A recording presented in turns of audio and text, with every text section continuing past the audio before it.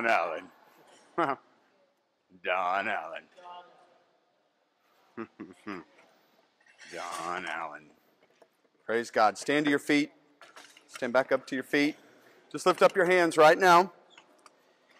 Just worship Him for a second. You got to do it when you're when nobody else is doing it. You got to do it. You got to do it. Thank you, Lord. Thank you, Lord. Thank you, Lord.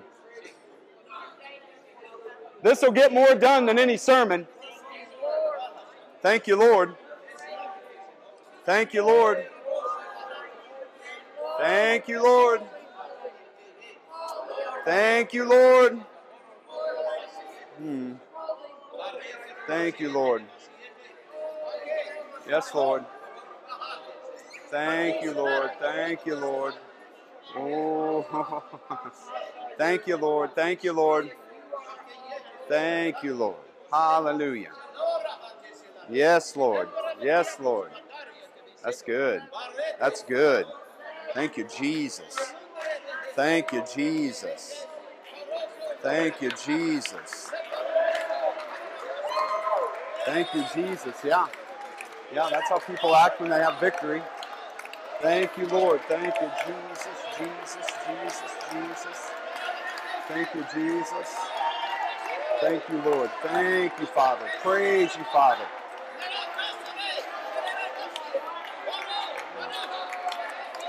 Glory to God. Glory to God. Glory to God. Glory to God. Thank you, Jesus, Jesus, Jesus, Jesus, Jesus, Jesus. Thank you, Jesus, Jesus. Glory to God. Well, I'm going to guess that that few minutes right there has done more than anything they've done on either side of the aisle upstairs ever. For this, amen, you know what I'm talking about. I mean, that right there has set something into this building that nobody else has ever done. I mean, what does the Bible say when we do something like that? God inhabits the praises. I mean, just landed right on the Great Seal of Missouri, right there, right? Praise God. All right, sit down. Man. well, well, well. Well, I don't know how you follow that. man, oh man, oh man. Ephesians 6, 14 through 16. Stand therefore, having girded your waist with truth, having put on the breastplate of righteousness, having shod your feet with the preparation of the gospel of peace, and above all, what did it say? Above all, what does that mean? That means more importantly, he's saying, above all, taking the shield of faith, which you will be able to quench all the fiery darts of the wicked one. So, wait a minute, it wasn't the breastplate of righteousness that stopped the fiery darts. It wasn't, it wasn't having, the, having yourself prepped with the gospel of peace that stopped the fiery darts. Yes, you should do that. What was it that stopped the fiery darts? This is where we've missed it. We've been getting attacked and we're saying, Well, I know the word. What's the problem? Why is this happening? I know the word. I, I know I'm the righteousness of God in Christ Jesus. I put that on today. That's not what stops the fiery darts.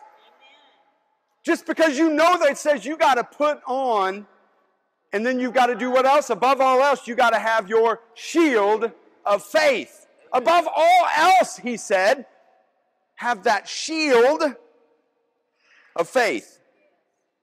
Friends, I know people that know the word front and back and have an academic faith about the word and, and can talk this book around me in circles and put me to shame. Can quote scriptures and chapter and verse and probably even give you a page number and a reference and have no victory in their lives. I know some folks have been preaching 20 years and I've been doing this for 20 years and have no victory in their lives. They're missing something. They're missing something. That's, that's not the issue. They don't have faith. It's faith. It's all about faith. I'm seeing this, and I really had a hard time for a while understanding what was going on with people because those that claim to be followers of God, that I know that they love Him, I know that they know Him, I know they know all about Him, but I see Him floundering, I see Him wavering, I see Him questioning after 20 years of serving Jesus Christ, and you're still saying, but why isn't He doing this for me? Why are we in that spot? You know the Word, but you have no faith. This is the issue. We're letting, we're letting gays and Muslims and everybody bully us around and we're crying about it like we don't serve the God Most High? Like somehow they're going to win and we're going to lose? What's the problem? Come on. Grab up your shield of faith. The shield of faith. You know the word, you believe in Jesus, you can read scripture, but you're not quenching the fiery darts. That's why we're suffering in the body of Christ and getting nailed and getting it handed to us all the time, is because you're not quenching the darts. I know your, your salvation's not what's in question. How much scripture you know is not what's in question. How long you've served Jesus is not what's in question. You have no faith. We're seeing it all the time. 1 Corinthians 16 13 says, Be alert and on guard. Stand firm in your faith. Act like men and be courageous and grow in strength. I like that. Well, I know some of the ladies are saying, I'm not a man. You know what I mean. Stand up and have a backbone once in a while. Cowering and hiding and having our businesses shut down because we refuse to, to bend the rules in the Bible. Because we refuse to give in to something that our Bible says is a sin and we're going to get bullied by these people? No, I don't think so. Stand up and be courageous. Stand up and have a backbone. You serve God Almighty. Stand up and be something. Stand firm in the faith. Take up the shield of faith. Faith is the currency of heaven. If you're going to get anything from heaven, you're going to have to do it through faith. It's going to have to come through your faith. Anything you want from God, it's going to come in an exchange of faith. Take up the shield of faith, act like men, be strong, fight the good fight. When did we forget? This is a fight, friends. Fight the good fight of faith. But if you don't have faith, you ain't fighting anyway. We got to fight. Faith is just you believing God more than anything else. I'm just going to believe the book more than anything else. I know what science says. I know what the doctors are saying. I know what the government is saying, but I'm believing this above everything else, that is faith. I'm going to believe the book. I'm so saddened by Christianity today. Here we are, handpicked by God to be on this earth at this time. You were no mistake. You, you weren't just because a couple folks got together and fell in love. God had us born for this time on earth at this crucial time, handpicked you and I to be here in these last days to be strong warriors. But what I'm seeing is, is I'm seeing just like the, the army of Israel when they were faced with the giant, they're hiding behind the rocks and talking a good plan, but not doing one single thing about it. And I am so sick of talk. When's somebody going to shut Goliath's mouth? When's somebody just going to say, Shut up, Satan, I'm done with you? Oh, no, we just hide and we say, well, man, if we can form this committee and if we can get enough money and if we can raise this and, and if we can get a million man march and if we can, I don't need a million men. I've got God. And if I would just have faith in my God, then I can get something done. One man stood strong when everybody else, he stood strong and held up his faith, his shield of faith, and said, I'll shut his mouth. One man one very unqualified man stood up and said, I'll do it. What's the guy get that does that?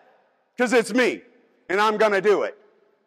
And every, against what everybody else said, who are you? Who'd you leave those few sheep with? You just came to see a fight. I don't care what you say. Is there not a cause? My God has spoken and he is coming against the armies of my God. He didn't get his feelings hurt and said, Oh, Goliath, why are you talking to me like that? Shut up, you're talking about my God. How dare you? Did we forget what this was about? Quit getting your little feelers hurt It ain't about you, it's about Him. And I am sick of people slandering my God. I'm sick of people saying Jesus is this way when I know He's that way. That is a lie. I wouldn't let anybody talk about any of you that way, not even the nun slapper.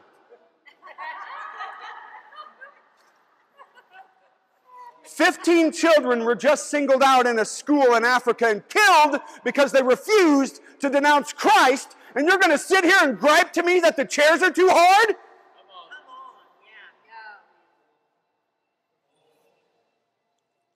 Shaking in our boots, we can't even get rid of a headache. And they were killed. These are children, by the way, not adults, well seasoned in the ministry.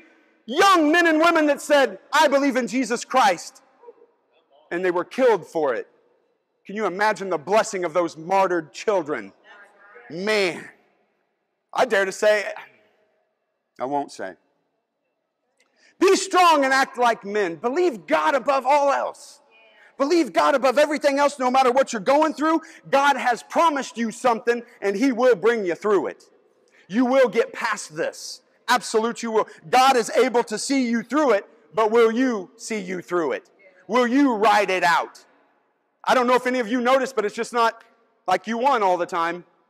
Sometimes we're going to have to go to war. Sometimes we're going to have to fight a little bit. But he calls it a good fight of faith because a good fight is a fight you win. You've been guaranteed to win every fight that you step into with him. With God on your side, you got God in your corner, you are guaranteed to win every time. He always causes us to triumph. Every time. So I love looking at uh, the Spartans, the natives of Sparta, Greece. I love, I love looking at these guys. They were crazy. They were known for warriors, and the, they were so much so that, that the saying around Sparta at that time was this, and, and I love this our men are our walls. They didn't have to build walls around their cities. They didn't have to put up big, big fortresses. Our men are our walls. And if you're going to try to come in here, you're going to be met with some men you're going to be met with some warriors. Their men were their walls. When can we have that again? we need somebody to stand up and form some walls. Some men and women in the body of Christ. They didn't have to build walls around there to protect anybody. If a threat came, the men were the walls. Fierce people. They were known for fighting. They were fierce. They were fearless. When a male child was born in Sparta, if he was found to have any weakness or any birth defect, they would take that child and put it on a hill outside of the city and leave them there to die. No weakness in their bloodline. Is there any weakness in your bloodline? See, somebody else took a hill and already died for you. Is there any weakness in your bloodline? No. No. No. The whole culture was this if you're not fit to fight, then you're not fit to live.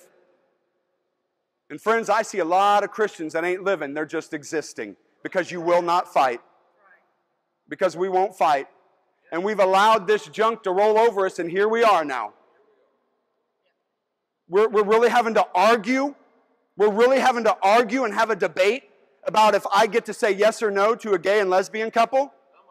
Because of my religious beliefs, I have to actually have a, a conversation about that. I can't just say this is how I believe. Friends, if somebody walked into my office tomorrow and said, You're going to marry us at our gay wedding, and I said no, they could take me and sue me and pull my papers right now. Why? How did it get that far? Because we had no wall. We had nobody to stand up and say, Wrong, we're not doing that. We cowered and we got afraid and we hid behind the rocks and said, We got to come up with a plan. Somebody's got to come up with a plan. You got a plan? We've always had a plan that shield, my shield, to quench those fiery darts. At age seven, every male child was sent off to military school for the next 13 years of their life.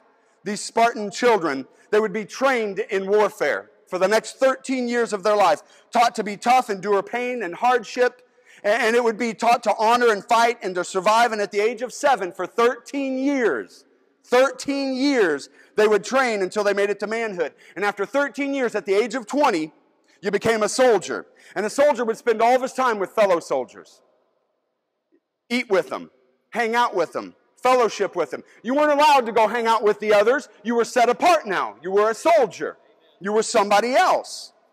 They ate together, traveled together, and at 20 years old, they took this oath of, uh, uh, this oath of loyalty that said this I will not disgrace my sacred weapons, nor will I desert my comrades by my side.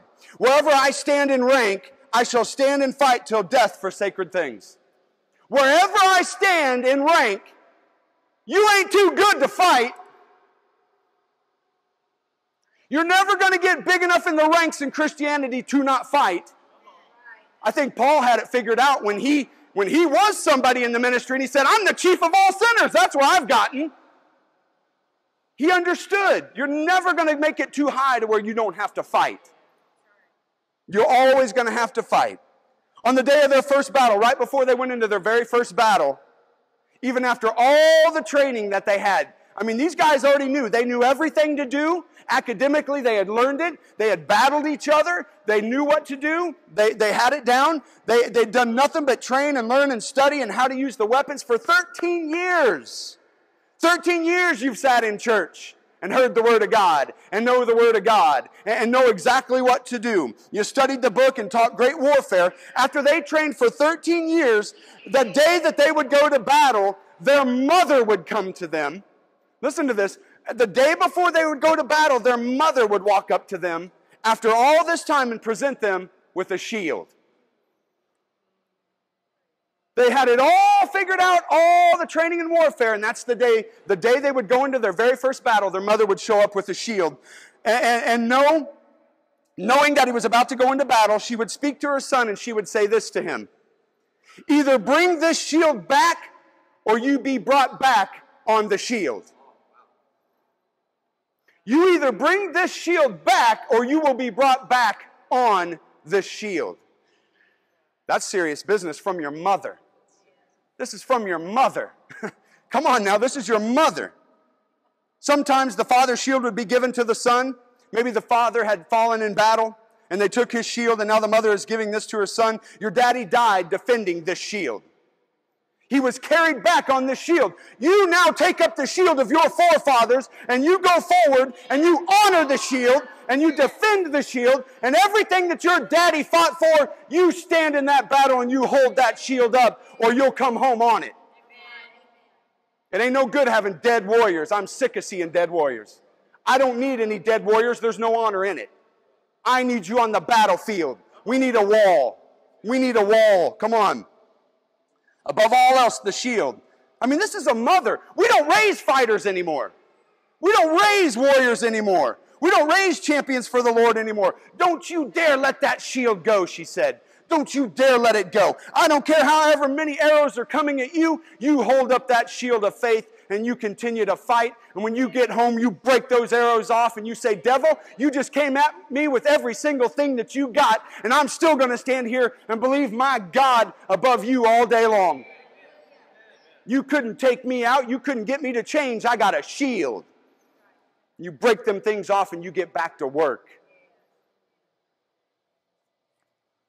You are never, doesn't matter how hot, how tough, you don't ever throw down the shield of faith. You don't ever lay down and say, you know what, I'm done. I ain't fighting anymore, I'm done. I'm leaving. I didn't sign up for this. I'm out of here. It don't matter if you signed up for it or not. You're in it. You're in.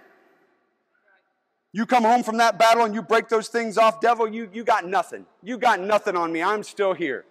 If the devil could have taken you out, friends, you'd be out.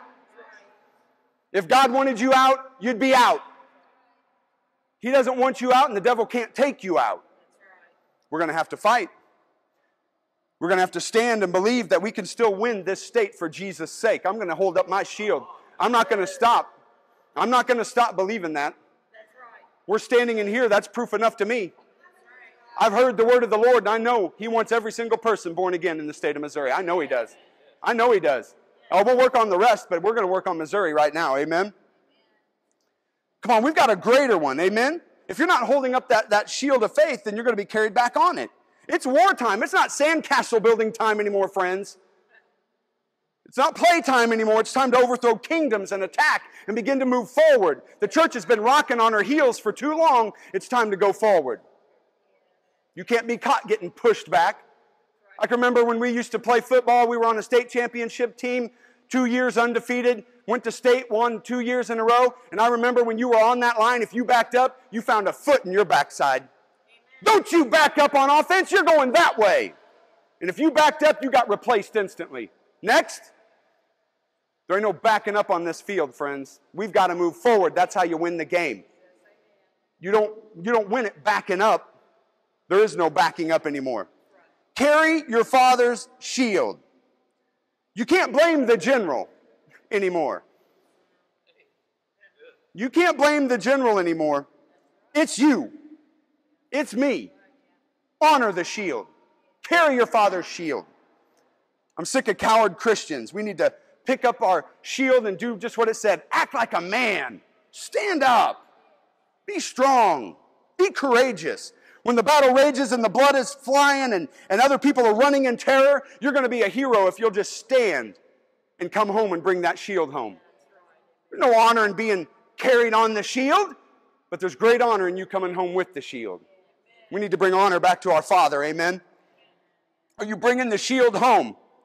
Because if not, there's going to be a day you'll be carried on it. We've seen it. We've seen it, friends. We've seen those that carried a shield who put it down. They put it down. They laid it down. And it wasn't too long, they were carried home on it. And that does not do this kingdom any good. Not at all. Everyone getting upset with the general. Why did God let this one die? Pick up your shield. I've never seen, even in our military today, when the enemy starts shooting at him, that they stand up and say, Why are you doing that? What did I ever do to you? Because that's what we do as Christians. Devil, why did I didn't Fight! Stand up and fight! He is going to whip your tail if you don't do something. You can't stand there and ask any questions anymore. You can't stand there and wonder why. I'll tell you why. He hates you. Satan hates you and wants to kill you. He's not toying with you, he wants you dead.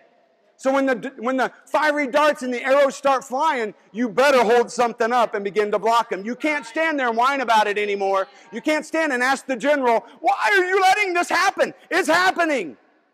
Fight. Fight. I can't imagine. I can't imagine with the arrows flying, swords clanging, the heat of battle, and you're on a bloody battlefield, and you're down there with your buddy, and you're fighting, and you look over, and you're like, You're wearing that? wait, wait, did you hear what so and so said about? In the middle, I can't imagine in the middle of a battle and, and fighting, and, and all of a sudden you look over and you're like, Are those tattoos? Why are you girls still wearing those things on your heads? Well, I didn't really like the music today at the beginning of the battle, did you? Oh, they were really off. Man, did you hear what the general said? I don't even believe in half the stuff the general said. In the middle of battle, I can't imagine, I can't imagine all that kind of talk in the middle of a battle, and yet that's what I hear today. That's what I hear today. Yeah, but so and so, and he's and he said, and, and they sat in my seat. Don't they know that's where I sit every week? Well, they do. I can't imagine somebody laying there and your comrade is bloody and hurt, and you walking over and saying, Man, I'm going to help you out, but did you tithe? Did you tithe this week? Did you give into the next building project? Well, I'm out of here then. What, you don't believe exactly like I do? Well, well, I can't even imagine. I'm throwing the shield down. I'm done. Maintain the shield. You honor the shield. Amen. You don't leave it on the battlefield. You, you, you got to keep it close to you. And the more intense the battle, the closer you got to keep that shield. The more you keep that shield tied up against you, the harder it gets. You're going to be in battle whether you want to be or not. The battle is not waiting for your approval. It's not waiting to be on your time schedule. It's here and it's time for strong, courageous believers. Strong, courageous believers. And I'm telling you, when that time comes, and it will, when the enemy starts to blacken out the sun with the amount of arrows that he's firing at you, and you can't even see daylight anymore, that'll happen to you. You better hold that shield up and you better fight in the shade. Amen. You better hold that thing up and you better fight right in the shade of that shield. You better pull in really close. You better fight under the shadow of the Almighty. I'll say, He is my refuge. He is my fortress. He is my God, and in Him do I trust. I'm going to pull under that shadow of the Almighty. That means you got to get close. You got to get close. I think we need some Shadrach, Meshach, and Abednego's in the body again. We need some folks like these guys in the body. Throw me in the fire or not, I will stand. I'm not going to back up. I'm not going to bow down. I, will praise him in there. I'll praise him out here. It don't matter what's going on. I will trust my God above all else. Here we're wanting, why are you throwing me in the fire? God, why are you letting this happen to me? They weren't alone. They didn't get a miracle outside of the fire. They got it in it. We're so worried about standing out here wondering why we're not getting a miracle. I don't see too many of them that got them until they were in a situation where they needed them. You're just sitting back saying, Oh, bless me, Lord. Bless me, Lord. You got all you need right now. How about you go do something and get yourself in a spot where you might need something else? You're sitting back, we're all fat and fed and ready to roll. I'm, I'm ready, I'm ready. Uh, tomorrow, when that battle, you know, maybe tomorrow and, or maybe the next day. I don't know. But I'm ready. It's coming. we already talked. It's coming. It's coming. It's here. Don't turn away from the faith. Jesus knew this above all else. Satan came to him three times. And how did Jesus answer? He held up a shield and he said, It is written. He just put a shield between him and the enemy and he said, It is written. I will believe my God above anything that you try to offer me, Satan. I'll give you the kingdoms of the world. Nope, you get behind me. You get behind me. And he held up a shield and he kept holding it up above everything that he was being told. He didn't just know about the words, he lived them. Being offered the kingdoms of the world. Some have allowed the spoils to distract them. Some have. The gold and the goods and the treasures. And listen, don't set your shield down so you can carry more stuff. And you don't use the shield to carry more stuff on it either. That's not what the shield is for. And I've seen many people abuse the shield saying, Here, help me load this baby up so we can get somewhere. You don't do that. I'm going to tell you right now, there's something more important than a new car and a big house and the largest church, and it's the shield of faith. Because I'm going to tell you something that money isn't going to help you when the enemy's attacking you. That money ain't going to help you. That big old building isn't going to stop cancer, right? That car can't go fast enough. This past year, I got to drive the yellow jacket. Who remembers the yellow jacket? Yeah, you do the Yellow Jacket. I got to drive the Yellow Jacket down to one of our tent revivals where we met up with the powers of darkness, did we not? Here's Angelique, the high witch of the four corners, and I'm driving this Yellow Jacket, this beastly hot rod machine Yellow Jacket. And so we meet, we meet Angelique and we get her born again, and her family's mad at us, and they're sending curses to us in the middle of our tent revival. And it started with an earthquake. The very night that she was born again, we had an earthquake. And then the next day, what happened? A tornado. A tornado happened. And I jumped into that yellow jacket with 392 cubic inches sitting right there. Zero to 60 in 3.6 seconds. 182 mile an hour top speed, and I couldn't get away from a tornado. Do you hear what I'm saying? That stuff won't get you there, but when somebody dares to stand up with a shield, like TJ, and begin to speak to that tornado and said, Get out of here, then it had to go. Amen. The stuff didn't matter at that time. The yellow jacket didn't matter at that time. I love the yellow jacket. But it didn't do anything for me. That's a borrowed vehicle, by the way, but it will be mine. And we can try to outrun tornadoes later, maybe. The spoils of war are not the sign of greatness. I'm sick of $65 million jets, stupid, crazy homes, and $1,000 shoes. Well, they deserve it. They can, sure, they can have all of that, but let me tell you something. Not at the expense of laying down a shield, and not at the expense of causing others to lay down theirs. No. Sorry. No. Nope. Honor the shield. The spoils are not a sign of greatness. I'm so sick of hearing that. Well, they must be doing really good. Look at what they've got. I don't give one rat's what you got. Is that getting anybody born again? Is it getting anybody healed?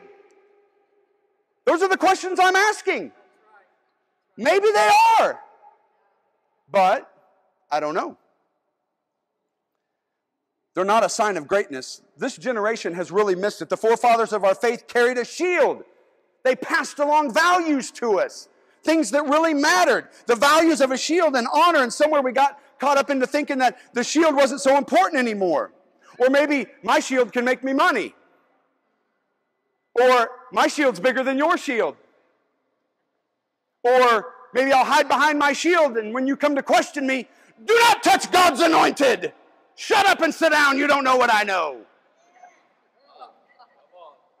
Abusing the shield. There's some people that paid way too big of a price for you to have a shield. There's people that, that paid way too big of a, a price for you to have the right to bounce around from church to church for you to dishonor the shield like that. Touch not thine anointed. Don't you question me. My shield's prettier than yours, costs more than yours. Will it stop an arrow? That's all I want to know. Will it stop an arrow? And are you using it? Are you using it? I don't think anybody got ready to rain down arrows and said, That's pretty. I don't think I'll shoot at that one. All the more you could be the target, possibly. I don't know. But listen, if you got to choose between things in your, in your faith, if you got to choose between your friends and faith, if you got to choose between your family and faith, I'm sorry, you're out and faith is in every time. I'm sorry. I love you, but God bless you. I got to stick with my God. I got to stick with my God because I'm going to tell you something. I'm going to let you down and you are going to let me down, but He is not going to let us down. Amen. He's just not going to. He's not going to. Amen. And I will maintain and honor that shield. Act like men. What a word. Act like men.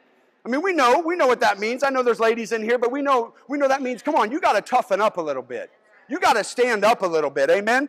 I mean, when I, when I kept thinking of act like men, you know, and I kept looking, I kept thinking of you all and, and how so cute and, and just so put together and so innocent how they look, and yet they were right there with us right there with us when we're standing there with the high witch of the four corners, and not one single one of them were afraid of her. They stood right in there with us and ministered to her. Every time that we were around her, they were around her. She kept asking me, Why do these guys not fear me? Why are they not afraid of me? Because the second she walked in, they ran up and gave her a big old hug, and she's like, Why are they not afraid of me? They've got a shield. They've got a shield. There's no fear in them. They've got a shield. What do they have to fear? If God be for them, what could be against them? Who could be against them? Certainly nothing Angelique could conjure up. Amen. Stand, and having done all to stand, you stand. Amen. I hope you know me well enough now that it's nothing personal, but I am not going to run around with milk toast baby crying Christians anymore. I'm just not going to do it. I can't do it. It's going to get me killed and it's going to get them killed. We can't do that anymore. Someone talked to me. Uh, nobody talked to me. I'm leaving. They sat in my seat. Uh, give me some Spartans that are born to fight again. So and so didn't shake my hand. So and so looked at me funny. I don't care. You look funny. Stand and fight. Too many people are dying out there for us to be taking times, time out now to powder hind ends and tuck you into bed anymore. You know the word. You serve the Almighty God of everything. What is the problem? How many more scriptures do you need before you can go do something? The devil needs no more to attack you right now. He needs to know no more information about you to come in full blown and attack you right now. And we're sitting back saying, what, wait, I'm not ready. Wait, wait. He's not waiting. He's not waiting on you. Lives are at stake. When the enemy attacks, I already know no weapon formed against me is going to prosper. It might rain down arrows for days, but it isn't going to get me because I've got a shield. I'm going to hold up my shield. It's coming. I'm not saying that I'm not scared about it, but I'm going to do it scared anyway if I have to. I'll do it nervous anyway because I trust this book above all else. I know we get nervous about it. You do it anyway. I always win. I always triumph. I got a shield. Keep and honor that shield. If you're going to try to talk with folks and tell them about Jesus, you got to honor the shield. You're going to try to preach, you got to honor the shield of faith. You have to. Honor the price that the generations before had to pay so that you could stand there. Honor the shield. Honor those that went before us so that we could preach in a place like this. Somebody else prayed us in here, friends. It wasn't us. Somebody else stood up years ago and said, It'll happen in Missouri. Oh, that'll never happen. Yes, it will. Don't you shoot that at me. Yes, it will. And when I stand up here and tell you that Missouri shall be saved, that's exactly what I mean. Because I'm going to hold up a shield and I don't care what any other fiery dart says about it. I'm telling you, Missouri will be saved. And if you don't want saved, get out of Missouri. Because this state will be known for something else. Come on, it's time for somebody to stand up in a land and just say, This is going to be that place. This can be Goshen. This can be that place of refuge. This can be that place. I don't know about the rest of the country, but we're going to stand here and we're going to protect our border with the wall. With the wall. With men and women that'll stand, hold the word of God up and say, Go ahead and cross that line. Go ahead. One or two things are going to happen. You're going to die or get saved. One or two, uh, whatever. It's your choice. Do you know Jesus? You're about to meet him. And it won't be me. It's going to be, if you're going to come into Missouri, you better be ready for something. Come on. But what are we saying? Oh, ain't nothing happening. This place is terrible. Going to hell in a handbasket. I don't know what's going on. And that's exactly what we're having. It's time to stand up and say, not in Missouri, not in, not in our town, not in our church, not in our meetings. Everybody's healed in our meetings. I mean, did we not just see some awesome things this weekend? Prayed for about 200 people at this man's church in two days when we were in Sikeston. Saw marvelous things, testimonies still coming in. Sikeston, where's that? Who cares? The Holy Ghost knew. And when somebody walks up to me standing in line that says, I just drove three and a half hours because I knew if I got here I would be healed, that's a shield that I'm looking for. Drove to Sikeston. Their faith made them whole. They had an expectation to come and be healed, and they were. Their faith made them whole. They crucified Peter upside down. And you want to tell me you're upset because nobody shook your hand? Wow. The pastor didn't remember your name? Honor, honor the shield, man. Honor the shield.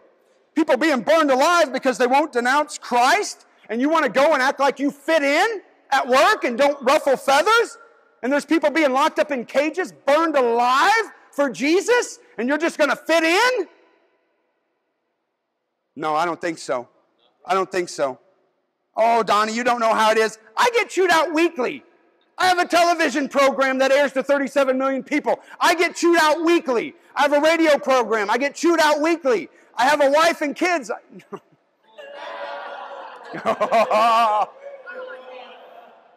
Just kidding. Look at my mom. My mom's like, oh, woo. People always coming at us, you should do this and do that, and, and we don't want to be a part of this ministry. Bye. See you later. It's battle time. I don't have time to argue the scriptures with you because they were never to be argued, they were to be believed. Believed. I don't really know if that's a shield or not. It's a shield. There's nothing to argue about. Come on. People crying about God not healing them. I'm sick of it. It's you. It's not him. It's you, it's not me, and it's you, it's not them. it's you. Why am I not being healed? You! It's never his fault. And guess what? It ain't my fault either. It's us. Where is your faith? We just saw miracle after miracle after miracle of folks that I don't even know, may never see again, because they had the shield and said, I'm done. I'm fighting. And they stayed. Our service went from, I mean, you think you're here long? We went from, what was it, 6 o'clock to 9.45. And people stayed because I am done with this sickness and disease. And the first guy to get healed was a man that walked up to me before the service started and he said, Well, I'm just going to tell you what, big, tall, lanky fella. Farmer. Is that right, farmer? came up to me and said, Well, I'll just tell you what. He said, I got out of bed today and I just decided, you know what? If anybody's going to be healed at these meetings, it's going to be me. About 10 minutes into the first sermon that I began to preach, I stopped and I said, Sir, you got to come down here right now. I perceive that you have faith to be healed. Boom, done right there on the scene. That's how you start a meeting anyway. Amen. Why? Because he held up a shield and he said, I'm done with this. I'm done with this. No more. I will believe God above every pain in my body. I believe Him. I believe Him. Don't lay down your shield. If you do, you will suffer the consequences of the fiery darts of the wicked one. Don't care how many scriptures you know. Do you just believe one of them? Could you just believe one of them and hold up a shield and just say, no more?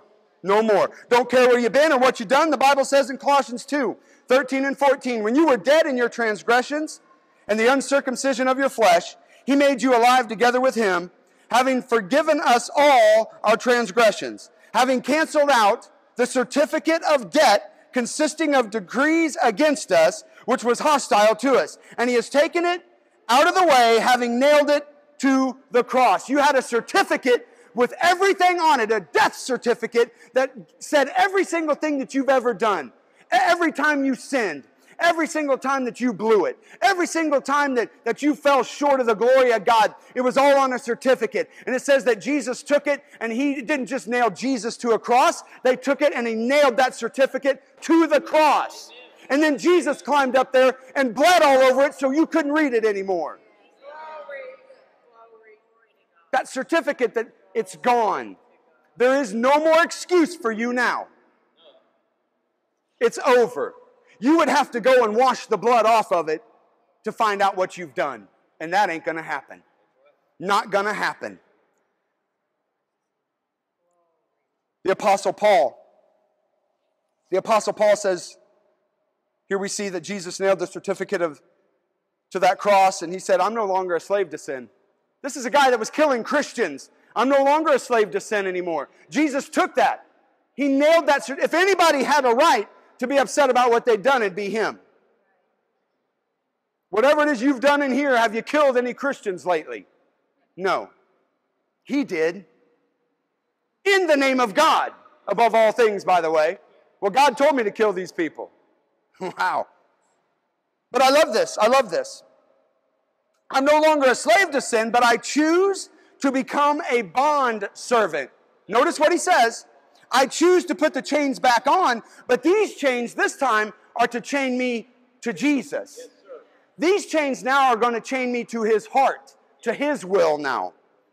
Even though I'm free, I chained myself. I'll no longer be chained to the freedom of this world, but I'm going to be chained to the freedom of Christ. There's a difference in being saved and being a bondservant. Saved, he's your savior. But chained as a bondservant makes you makes him your master. Makes him your master. He's Lord.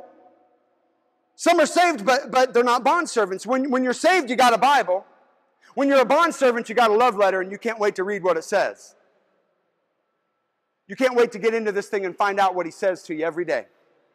That's a difference. When you're saved, you might go to church, but when you're chained, you're in love with the head of the church, Jesus Christ. The Ten Commandments are a duty, but when you're chained, they're a delight. Nailed our sin to the cross. You're born again. You know, born again is more than just breathing.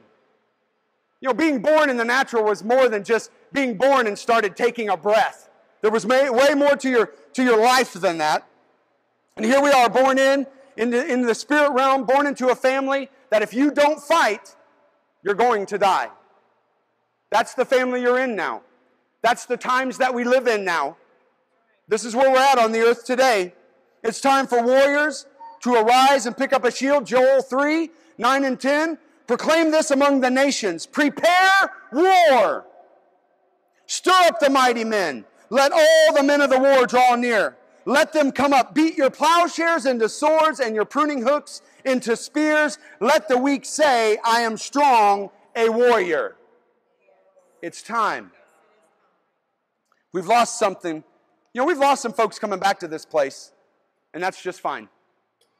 That's fine. We lost a whole bunch of folks coming back here to the Capitol. Why? I have no idea, but you know what? It's okay.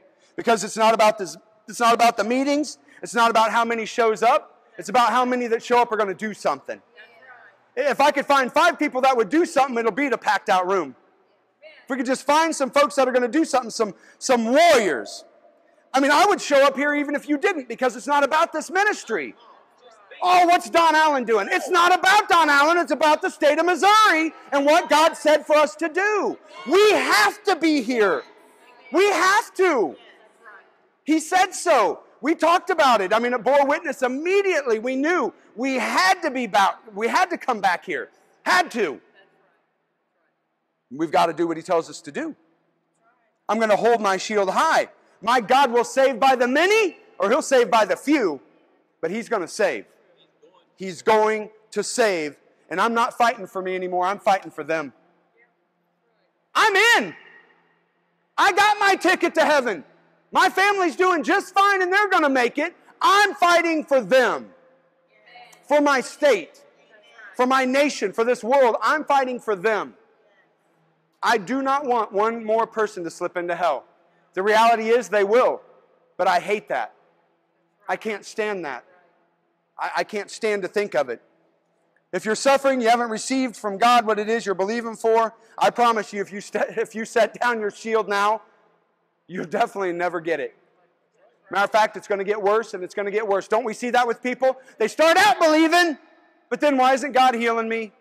I don't know if He even wants to heal me. I'm not sure I was even healed ever anyway. Well, gosh, look at me. Now I'm sick. You think? You just opened yourself wide open for the fiery darts to come in. You've got to stand. I guarantee you they were tired. I guarantee you some days were better than others, but they came home alive because they would stand with a shield. I can believe that tomorrow can be better, but I can't do it if I'm dead. And you can't either. We're going to have to stand. Not everyone in the Bible fought, but some had to. Some were called to fight. Some were called to be on the front lines, and that's what this is in this place. Called to be on the front lines. We are the wall for Missouri. We're the wall. It has to start somewhere. We are what stands against ISIS coming here and killing your children. God says, if I could just find me 10, I won't destroy the place. Somebody's going to have to stand or they're going to be here. Why do you think nothing significant has happened here yet? We had 9 11. That was bad, but that ain't nothing compared to what's going on in the rest of this world. In the rest of the world, we would be dead right now standing in this room. They would walk in here and kill you and I right now, and nothing anybody can do about it. But there's some folks that are standing with the shield as that wall saying, You ain't getting through. Those Spartans would line up shield to shield, tight. You ain't coming in here. You're not coming in here. And when the, when the arrows started flying, they held it up and it protected them, and everybody behind them was protected. We've got to continue to stand. You can't leave a hole in the wall, they'll find a way in. We've got to stand. You don't have a choice. We have to stand. Somebody that'll honor the shield of faith, formed and fashioned out of the fire of God's word. This book has stood the test of time. There ain't no reason for you not to believe every word of this book. It has made it through way more than anything you can ever doubt about it. Greater men and women have come and doubted the book better than you, and it's still here. Greater scholars have come and tried to rip it apart and prove it to be wrong, only to find it proving itself time and time again to be more true every time they try to tear it apart. Every time they try to disprove it, God allows them to find just one more artifact that proves it was true. Have you noticed that? Every time somebody tries to rise up and say, that can't be true, then they find something at the bottom of the Red Sea, horses and chariots and, and all this stuff, and they say, well, gosh, I don't know. They find another bone, another toothpick from the cross of Jesus or something. I don't know. But they're always finding something every time that somebody rises up and says, it isn't true. And then suddenly what happens? It proves itself out again. Another piece of history arises. Another testimony comes from, from 100 years ago, 300 years ago, where the book was true. Every time this book has stood the test of time, this is your shield. Proven. It's been through the fire. It'll never fail you unless you just put it down. Then you got nothing. We've got to hold on to the shield. You have to have faith in the words of this book above everything else. Anything else you're seeing? I'm done crying about the numbers. Judges 7 comes to mind. Gideon faced with an impossible situation. Now, I'm only saying that because here we are in the Missouri state capitol where, where, where, where when, they, when they held the Ferguson, uh, the, the, the Ferguson March, there was over a thousand people in this very room for that. We can't even get the churches that are two minutes from here to show up. This man drove from Sikeston, Missouri, people. I'm glad you all are here too, though. But you get my point. So it's not about the numbers, because here's Gideon, an impossible situation, and he could have cried about the numbers, he could have questioned God about it, and even though Gideon had some numbers, it's not how it was supposed to be. Did you notice this in the story? It wasn't about the numbers.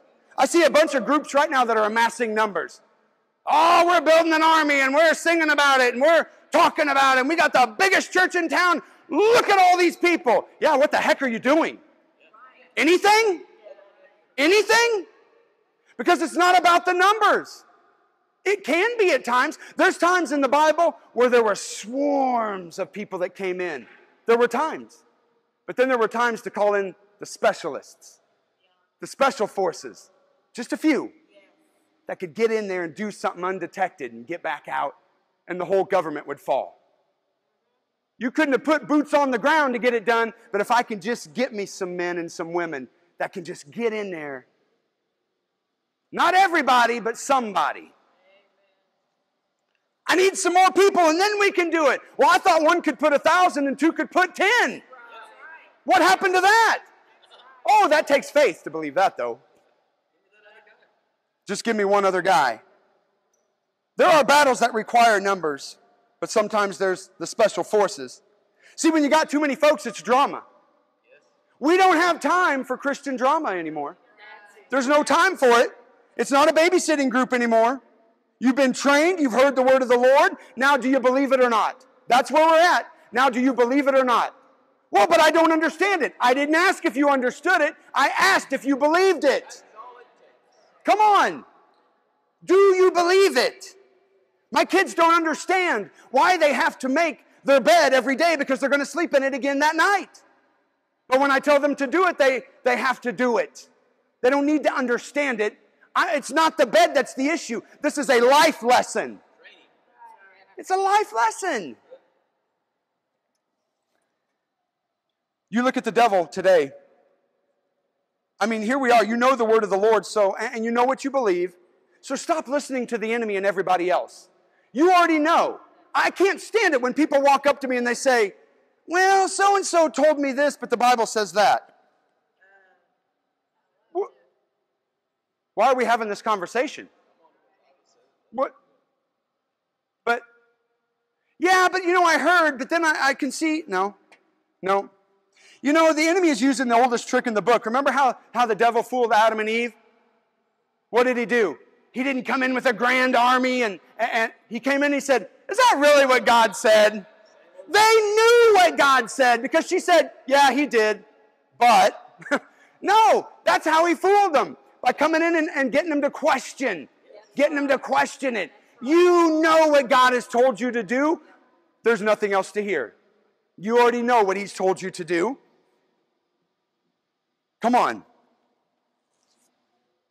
I need 300. 300 that will hold the shield. This is what Gideon had. Just 300. He experienced, Gideon experienced something right here that's pretty amazing. Gideon experienced something that would have the church leaders and religious leaders of today fasting and praying and crying and ashes and ripping their clothes. He experienced divine demotion, if you will. He, he had, he, he had uh, people that left, and it was a divine thing. He divinely lost numbers. We're saying, man, we need all these numbers. And the Lord came in and said, You got too many. You got too many now. You, there's too many of them here, Gideon. People have come into this room and have literally said to me, This is no lie. Where is everyone? I mean, if this was really from God, wouldn't there be. You know who I'm talking about. Mr. High and Mighty came in here one night and said, Hey, uh, where is everybody? And that is exactly how he acted. Where is everybody? I mean, if this was really from the Lord, oh, I thought it was. I didn't know you were the Lord sent here to tell me.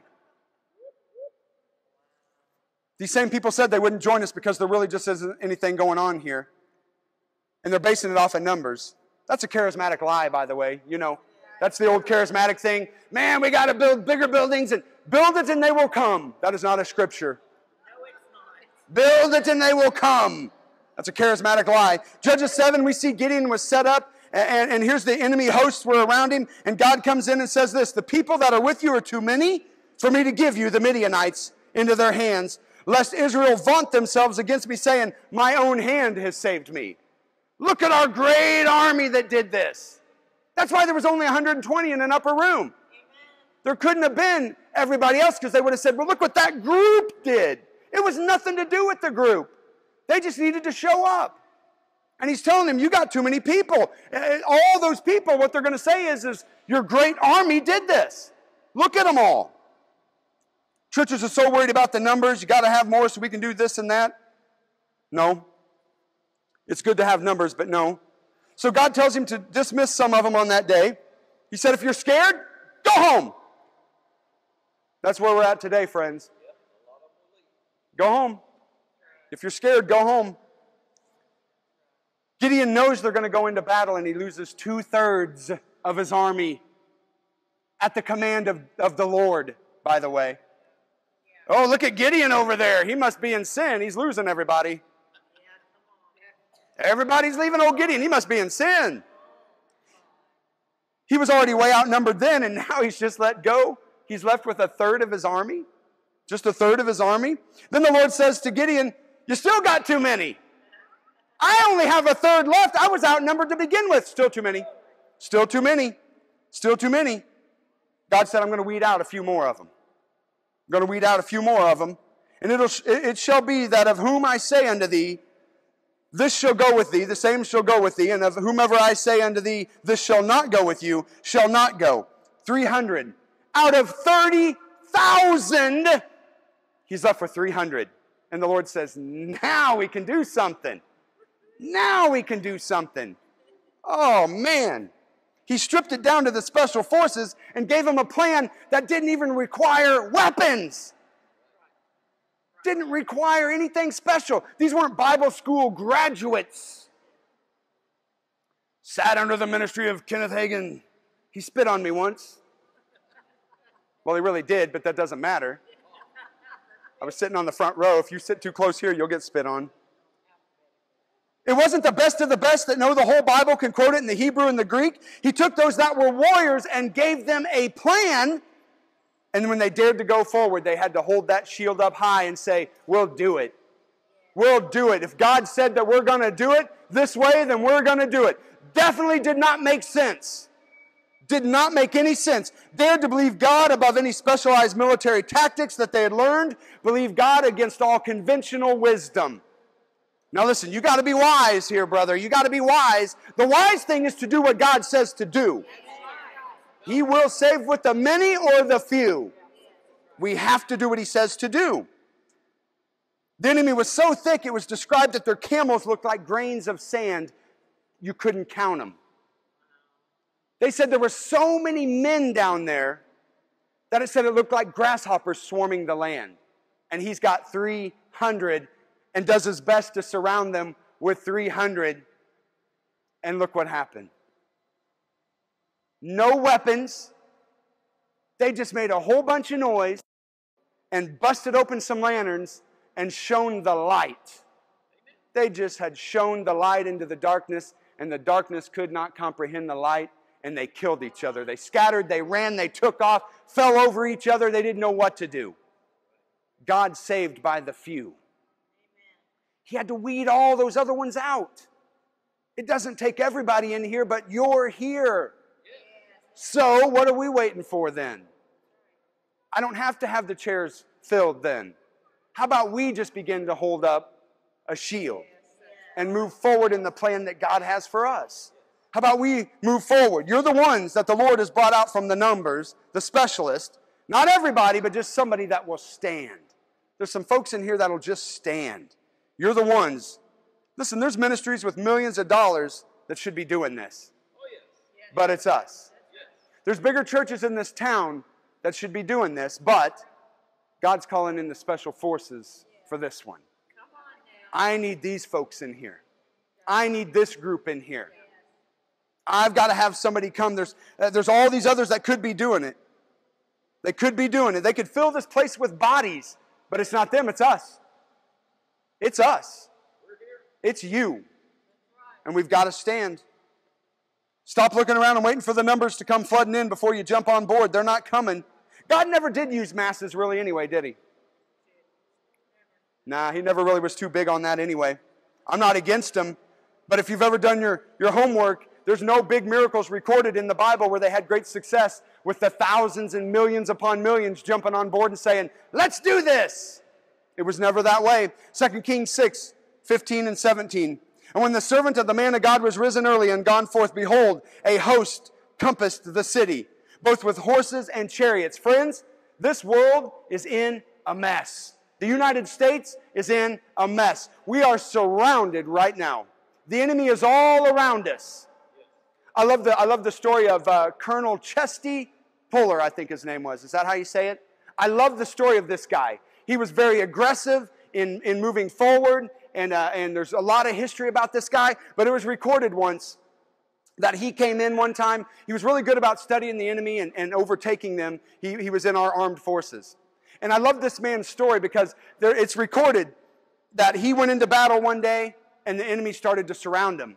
They flanked him, he got caught, and they were totally surrounded. And he called in on the radio and he said, The enemy is in front of us, the enemy is behind us. They're to our right and they're, they're to our left. They won't escape us this time. It all depends on how you're going to look at it. We are totally surrounded, which means that anywhere that I point, I'm going to hit somebody.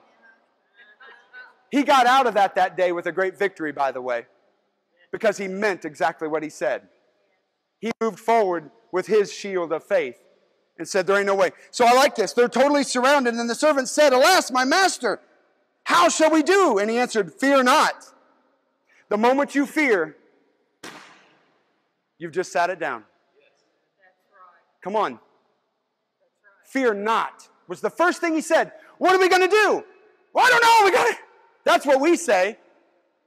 Well, I don't know. We better call everybody and we better get them to fasting and to praying. He said, first thing you're not going to do is fear. Do not fear. Why would I not fear? Look around us. He was seeing something different, wasn't he? What are we going to do? He said, Don't fear, for they that be with us are more than be with them. And he prayed, Lord, open his eyes that he may see. And the Lord opened his eyes of the young man, and he saw, and behold, the mountain was full of horses and chariots of fire round about Elisha. Friends, we've got a weapon that they can't see, they can't feel, and it's called faith. You may not see it. Just like this man, he couldn't see it, he couldn't feel it. What are we going to do? You're not going to fear. Lord, open his eyes and begin to see. Friends, all you got to do is open your eyes, and you can already see it right here. It doesn't even take much faith to look at this. It's right here. Lord, what are we going to do? This. Don't fear and do this. This is our weapon. There is more of us in this room right now than there is in this whole city. If we could see up into this balcony, if we could see what was flying around up the top of this place, there is more with us than are with them. Come on, we got to believe it. You got to believe it. When you began to worship God in here just a little bit ago, His presence filled this place. I mean, just from wall to wall, top to bottom, filled this place. What does that mean? It means it pushed everything else out. How are we going to take this state? We're doing it right here. We're doing it right here because the greater one is here. Everywhere we go, there is more with me than there's ever going to be with anybody else that's out there because I have the greater one. The all in all is on the inside of you and I. And anywhere you go, this is why Kirk and I can say, you are a move of God going somewhere to happen. That sounds really cute, but you really are. So when it's battle time, you are that move of God going into that battle. You are the victorious one, already walking onto the field, knowing that you can win. Because when we begin to really look around, I can begin to see more with me than is with them. This is how we're going to do it, friends. You holding up that shield, trusting this word above anything else ever. I know what it looks like. The next time that something happens to you, I want you to literally do this if you have to. The next time a situation arises, say your finances are a mess. You throw that checkbook down and just do this. I think I'll just look at it through this and see what it says. I got some sickness or disease. What is that? Nothing. That's nothing. That's nothing. Come on. Hold up that shield. Because if you don't, you're going to look at that. Ah, fiery dart. You're going to look at that checkbook. Oh, fiery dart. Going to start hitting you. Come on, let's look through the, the shield. Hold up the shield. Those guys could stand there and peek over that thing and say, Yep, I see him coming. Not doing nothing to me. Boom, boom, boom. Nope. Boom, boom, boom. I'll outlast you. I'll just keep holding up my shield and moving forward. You see those guys with that riot gear? They use that thing, man. Boom, boom, boom. The Spartans didn't use it to hide behind, it was a weapon. They'd take your head off with that thing. Let's use it. We've got a sword. Let's start swinging that thing. Let's start swinging that thing. Amen. Let's swing that thing. Glory to God. Listen, I'm ready to see my state turned upside down for the kingdom, and I don't need the, the legislature to do it. I don't need the Senate to do it. I just need me a couple people that are going to stand and believe with me. Amen. That we can actually change this place. Amen. Praise God. You need prayer? I want to pray with you. I want you to come up and we're going to pray with you right now. How many of you folks remember the story we told about uh, Lebanon, Missouri, and the Down syndrome child? Do you remember that? Well, the doctors are trying to say the same thing here. What do we say? Well, they said it's Down syndrome. I don't think it is. I think that's a healthy baby right there. Amen. That's what I see. I just see a, a shield of faith. Amen. Now, she went in and got some good news, and then they flipped around and said, Yeah, but there's some really bad news too attached to the end of that. You know, they just can't handle the good news, you know. But that's all right because whether they believe it or not, we do. Isn't that right? We believe. We believe it. We know that we win. We know that this baby is being born for this time on this earth. This ain't, this ain't no mistake. This baby is being born for this time on earth. And absolutely not one thing will be wrong with this child. Perfectly normal. Yep, full development. You guys go ahead. Get your hands in there, mamas. Get them in there. Go ahead.